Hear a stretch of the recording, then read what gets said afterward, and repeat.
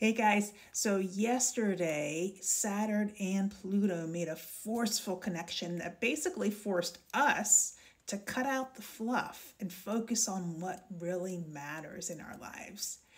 This may have looked like a parent, teacher, boss, or other authority figure um, demanding that we turn off those video games and all the fun stuff and get busy now on what we really need to do. And God help us if we spoke back, because with Saturn and Pluto meeting up in this way, it's kind of like the rock and the hard place getting into a fist fight if you buck the, the, the trend, buck the authority, right? Uh, so yeah, that was a tough energy.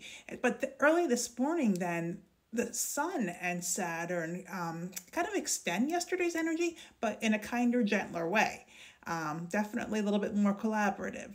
They seem to promise that if we set clear intentions around the things that we really um, want or need to accomplish, they'll give us the discipline that we need to prioritize the use of our resources so that we will eventually get what we most want.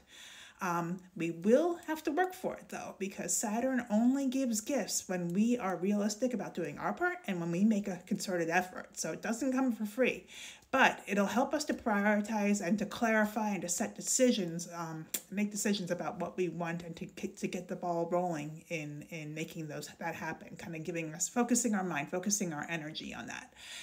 Then tonight we've got a very nice new moon in Taurus um, at 11:23 p.m. Eastern.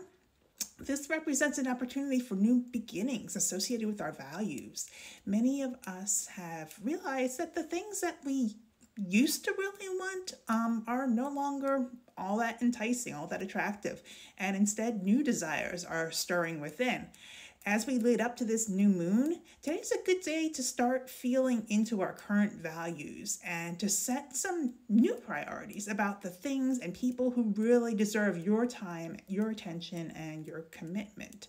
Um, you've got a little bit of time to do this. It's no, there's no rush because, like I said, it's not a new moon until 11:23 p.m. Eastern, um, and that will carry over for a couple of days. So, so you have until the, the you can see that little crescent moon in the sky to set your intentions around this. So it's a good time to make decisions about how you want to spend your money. For example, ask yourself: Is this you know these items that I'm gonna I'm thinking about buying? Is it are they really worth it?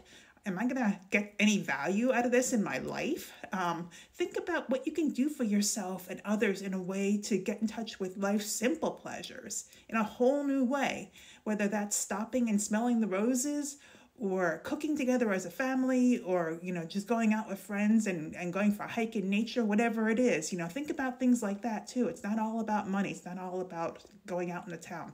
So um, yeah that's what this new moon wants us to, to focus on how we can bring more beauty um, values and and just you know fun fun love into our lives um, in a new way so this is Eagle Condor Astrology. If you want to stay on top of the daily astro vibes, just keep following the channel. Thank you guys so much for watching. I appreciate you. Thank you for your likes, comments, shares, follows. Have a great day. I'll catch you next time.